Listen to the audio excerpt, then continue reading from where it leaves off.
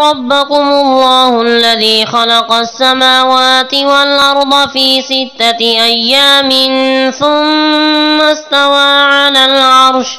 يغشي الليل النهار يطلبه حثيثا والشمس والقمر والنجوم مسخرات بأمره. ألا له الخلق والأمر تبارك الله رب العالمين بے شک تمہارا رب اللہ ہے، جس نے آسمانوں اور زمینوں کو چھ دنوں میں پیدا کیا۔ پھر اپنی شان کے لائق عرش پر استوا فرمایا، چھپا دیتا ہے رات سے دن کو اور دن سے رات کو۔ تیزی سے پیچھے لگی رہتی ہے رات دن کے اور دن رات کے۔ اور پیدا کیا سورج اور چاند اور ستاروں کو۔ سب اس کے حکم کے تابع ہیں۔ جان لو اسی کے لیے ہے پیدا کرنا اور حکم دینا۔ بڑی برکت والا ہے اللہ پروردگار سب جہانوں کا۔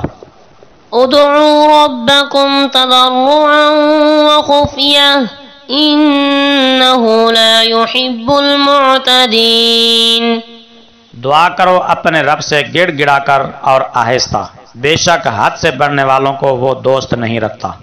ولا تفسدوا في الأرض بعد إصلاحها وادعوه خوفا وطمعا إن رحمة الله قريب من المحسنين۔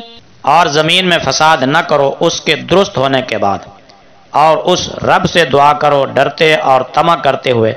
بے شک اللہ کی رحمت قریب ہے نیکی کرنے والوں سے وهو الذي يرسل الرياح بشرا بين يدي رحمته حتى إذا أقلت سحابا ثقالا سقناه لبلد ميت فأنزلنا به الماء فأخرجنا به من كل الثمرات. كذلك نخرج الموتى لعلكم تذكرون.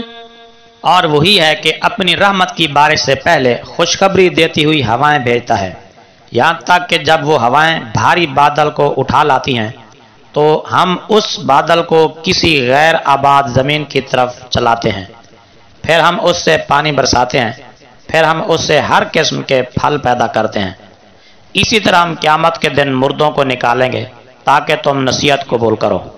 والبلد الطيب يخرج نباته بإذن ربه والذي خبث لا يخرج إلا نكدا كذلك نصرف الآيات لقوم يشكرون اور جو اچھی زمین ہے اس کی گھنی پیداوار اللہ کے حکم سے نکلتی ہے۔